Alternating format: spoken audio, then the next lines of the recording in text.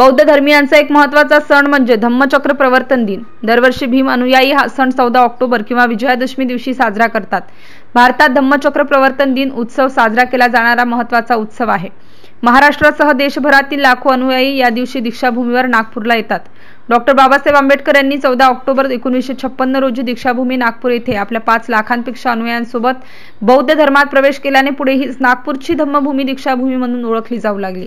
भारतामध्ये लुप्त झालेल्या बौद्ध धम्माचं चक्र बाबासाहेबांनी गतिमान करत धम्मचक्र प्रवर्तन केलं म्हणून हा दिवस धम्मचक्र प्रवर्तन दिन म्हणून ओळखला जातो. ऐतिहासिक पार्श्वभूमी असल्यामुळे धम्मचक्र प्रवर्तन दिनी दीक्षाभूमी नागपूर येथे यावर्षी देशभरातून लाखो अनुयायी मोठ्या प्रमाणात दाखल झाले होते.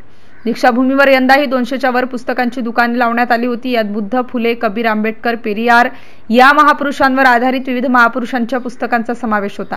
संपूर्ण दीक्षाभूमीवर विद्युत रोषणाई करण्यात आली असून पांढऱ्या शुभ्र प्रकाशात दीक्षाभूमी परिसर उजळून निघाला.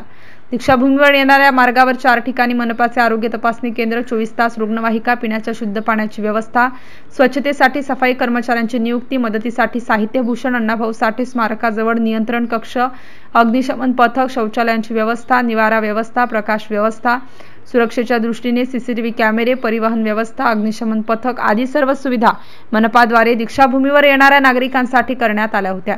एमसीएन न्यूज मराठीकरिता किशोर गणवीर नागपूर.